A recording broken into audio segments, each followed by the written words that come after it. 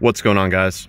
I've got a 2017 Mazda Miata with a 5-speed, or 6-speed rather, and I'm going to use it to point out to you the location of some important fuses and relays for the starter as well as the fuel pump.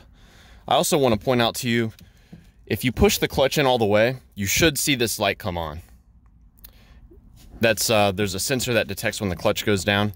Now if you're not seeing that light power on, you may have an issue with the clutch switch. So you'll want to check that before you, you know, look at anything else I'm going to show you here today. But as far as the fuel pump and the starter, we're going to head under the hood and I'll show you the fuses and relays for each. Now your starter relay is going to be this one right there. And if you want to swap it with a different relay as a troubleshooting step, I would suggest swapping it with this relay. This is for the air conditioning.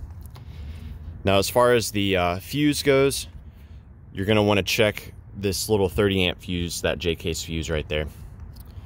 Now the fuel pump, there's a fuel pump relay located right here.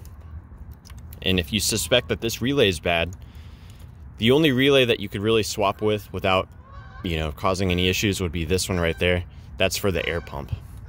So that's the fuel pump relay, that's the starter relay, that's a starter fuse, and the fuel pump fuse is gonna be that 15 amp fuse located right there.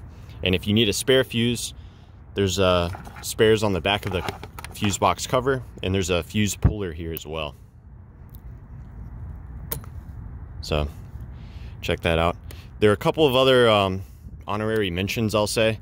Uh, these are also important for the operation of the car starting. There's an ignition one relay right there. There's an injector relay and a main relay right here. So those are fairly important as well. So yeah, let me know if you guys have any questions or more importantly, any advice about troubleshooting the fuel pump or starter on your Miata.